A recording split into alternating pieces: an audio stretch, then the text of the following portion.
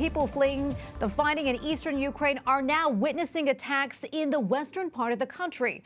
Russia bombed the city of Lviv, killing at least seven people. Thick black smoke rose over the city following a series of explosions. Lviv has only seen sporadic strikes until this point. Ukrainians are still fighting to keep the port city of Mariupol. The Philip Crowther, Associated Press affiliate correspondent, joins us now from Lviv. Philip, great to see you. Uh, uh, tell us more about the situation on the ground in Lviv.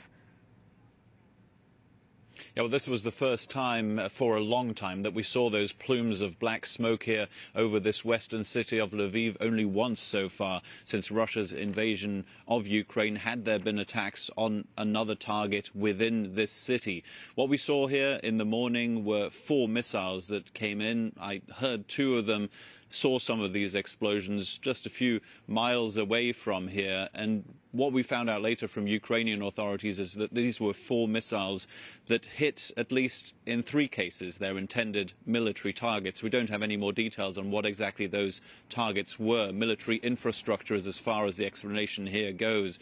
But the other one doesn't appear to have uh, hit its target, except if a car repair shop seems like a legitimate military target, because that's what we saw a few hours ago here in Lviv when we went to uh, where one of those missiles struck, a car repair shop where the cars were burnt out, the houses were destroyed, and in fact, right next to it uh, stood, or still stands, a hotel in which a lot of displaced people from other parts of Ukraine were staying because they had fled the east, for example, to come here to the west to be in a safer place. They might feel differently about this area now.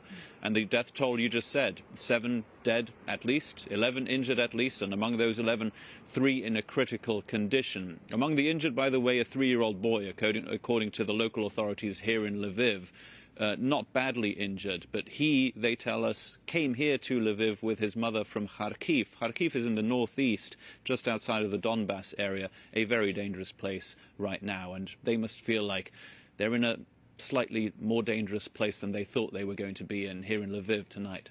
Mm. Philip, I'm curious, any idea why it was targeted, Lviv?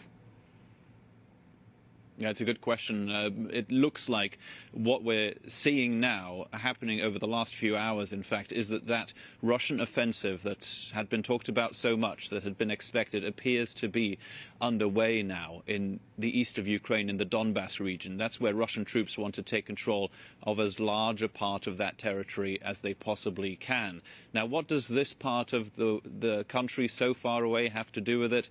Well, it would look like uh, Russian forces are trying to hurt Ukrainian military infrastructure, its logistics chain as well, because through the western Ukraine come a lot of weapons shipments, for example, toward the center of Ukraine and toward the east of Ukraine, where those weapons are so needed. Uh, that's why military targets are being hit, and it was something that Moscow had warned about, that more military targets were going to be hit in the capital city, Kiev. Well, it turns out that's not the only place that has been targeted by Russia over the last few days as part of what would appear to be a new tactic of hitting places with missiles outside of the east, but at the same time, that ground offensive starting in that Donbass region in the east right now.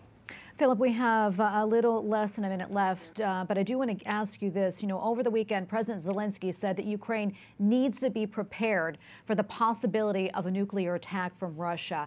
Um, how are Ukrainians reacting to that, and what are you hearing? Look, the thing is that this is a country that has had to adapt so, so quickly that to a new reality that people are not really shocked, but uh, to hear sentences like that one from their own president, a very popular man, by, by the way, right now here in Ukraine, these people have had to adapt very, very quickly to this new reality. From being a country at peace, though knowing relatively at peace, they'd been at war for eight years in the Donbass region with Russian-backed separatists, but never thought that it could come to this, to an all-out war by its neighbor against the whole of the Ukrainian territory. And they've seen the things that have happened in their country. They've seen what Russian troops left behind on the outskirts of Kiev. They are seeing the death count go up uh, terribly in cities like Mariupol in the southeast as well. That nothing would surprise people here. That is the simple truth. And that includes people here in Lviv. This is a very peaceful place, except this morning when those missiles uh, struck here uh, in western Ukraine. Hmm. So concerning. Phil, thank you so much for reporting. We appreciate it. Please stay safe.